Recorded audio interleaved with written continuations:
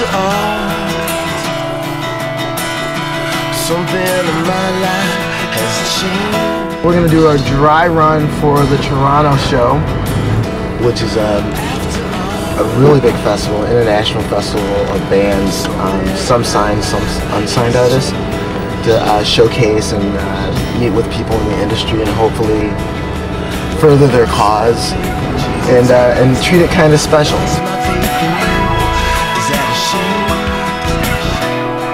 Me, prior to, to getting together with Alan, um, I'd been working, as I said, in a sort of solo vein, and it was very esoteric, uh, very electronic, and, and, and beat oriented. As soon as we, we, we got together, I realized that was the sort of the different the pieces I was missing and then I, I brought the stuff to the table that he didn't have, Right, right. and it just all melded. Right. And, and between the two of us, we had pretty much everything we needed to, to, to do this. Absolutely. I sing. Uh, I play guitar on many of the tracks. Uh, played bass on one of the tracks, or part of one of the tracks, and uh, and I write. And I write a lot of this stuff as well. So We brought in an excellent uh, instrumentalist uh, named Rex Espinosa, who plays Oh, yeah. a combination of guitar and keyboards. We kind of a couple drummers we worked through before we finally got to the drummer that we have, who's Joe Bianco. John Mastro is our Yeah. guitar player that replaced. Very good instrumentalist. Their ability to interpret songs and to add a, uh, their own sort of stamp on on their musicianship. We got a great unit now.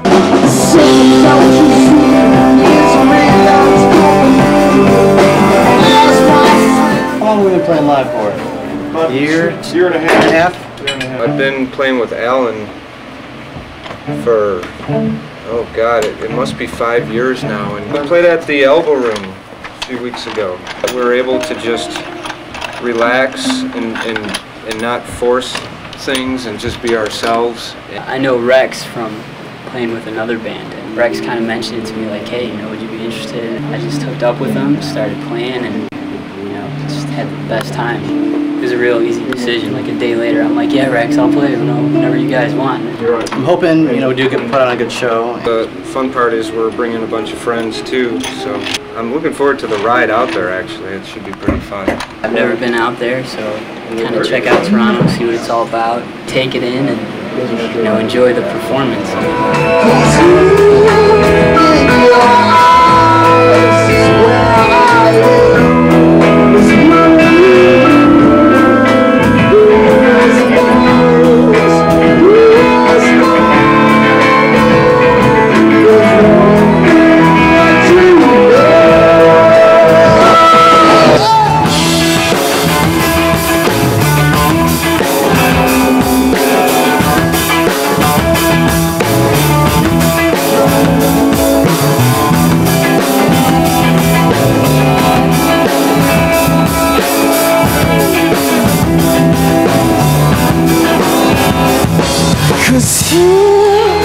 In this place is where I live. This has been a fun weekend for us. Actually, we got in last night and went to uh, where did we go? To the Eaton Centre, and um, I'm on my quest to try.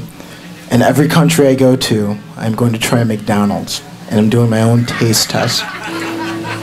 And I had McDonald's in Canada's right up there. It's right up there. I hope that we can keep going and, and making more music. Um, I hope that uh, we can continue continually progress to really cool shows like this. I hope that someone else will run the shows for us. And the new album, and we're doing some stuff and laying down some tracks. Going really well. I'm really excited about the new songs.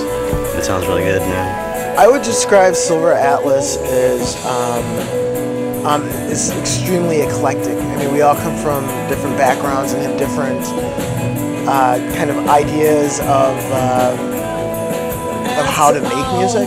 This is the best band that I've been in. As far as the future, I hope we can keep going and keep playing and uh, just keep kicking ass.